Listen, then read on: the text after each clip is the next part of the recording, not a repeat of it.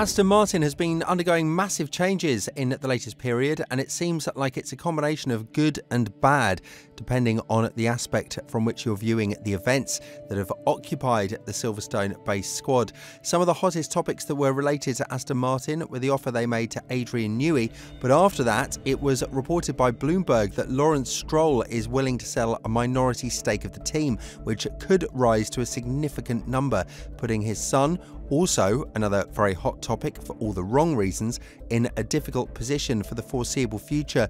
But with all these changes coming forward, as well as Honda joining forces with Aston Martin from 2025 onwards, could we see a different landscape in the Silverstone based squad?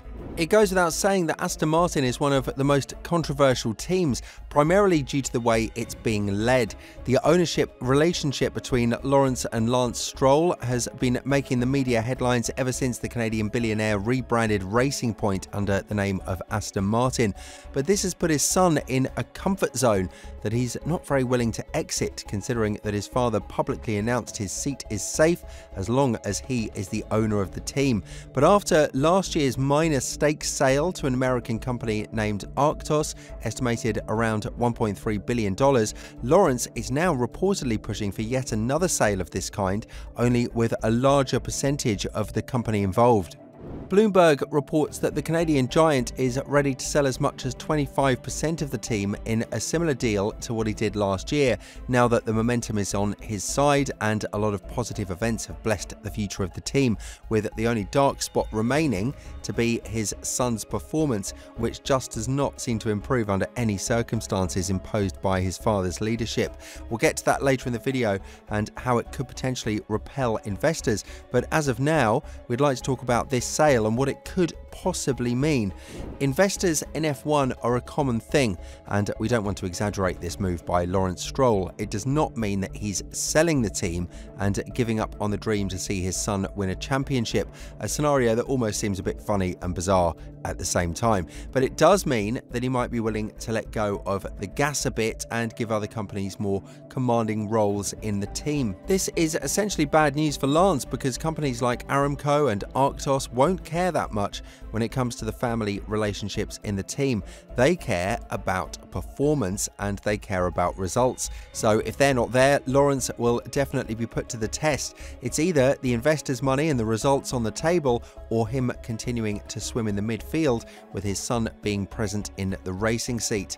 Now that Alonso secured his future with Aston Martin, a process that happened after he had a lengthy conversation with Honda and made sure that all of the previous obstacles from 2017 were fixed, it's safe to assume that Aston Martin and the Japanese manufacturer will have high goals once the new regulations kick in, and that is the right mindset to enter the 2026 season as well. Honda has a lot of knowledge in building engines, and now that the 2026 era will see a huge emphasis put on engine supremacy as well as the battery in general, it wouldn't be that far fetched of a scenario to see Aston Martin in the top three teams on the grid. However, in order for them to achieve this, they would need somebody who knows and understands the cars better than anyone else on the grid. And with Adrian Newey's rumoured exit from Red Bull, the Silverstone based squad has used the nationality card on this one by trying to lure the 65 year old expert to their own camp. While many experts reported that Newey is reportedly going to Ferrari if he decides to call it a day with Red Bull, the fact is that he would have to move to Italy, and that's something that was crucial when he extended the deal with Red Bull once the initial Ferrari offer came through the back door in 2020. Be that as it may, Aston Martin's headquarters and factories are located in Silverstone, meaning that he won't have to put all of the effort on his own back to move to Italy. Although, to be fair, if you are the type of man like Newey who wants to tackle new challenges, that might not be that big of an obstacle either.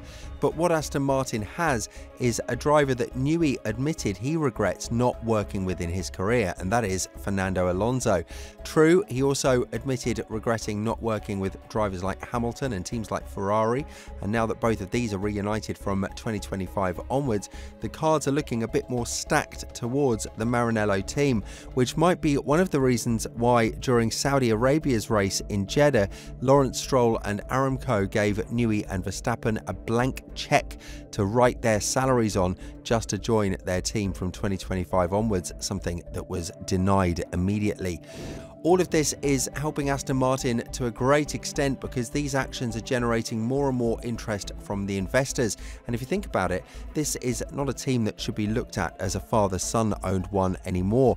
Not after the latest signings with Honda and the partnerships that they've been making left, right, and centre. Yes, Lance is an underperforming driver, and if he wants to see the slander towards him stop anytime soon, he would have to start finding performance out of somewhere. Be that as it may, Lawrence will start to experience external pressure from his partners when it comes to results, and Honda will be the first to start seeking performance out of a car that they know will be capable of finishing in the top five on a regular basis. This is something that the director of Honda Racing Corporation, Koji Watanabe, spoke about, and when elaborating on it to a further extent, he went on to say, We had many conversations with Aston Martin regarding our partnership from 2026. During that time, we exchanged opinions about drivers too, and we shared an understanding between us and Aston Martin that Alonso was definitely a top class driver.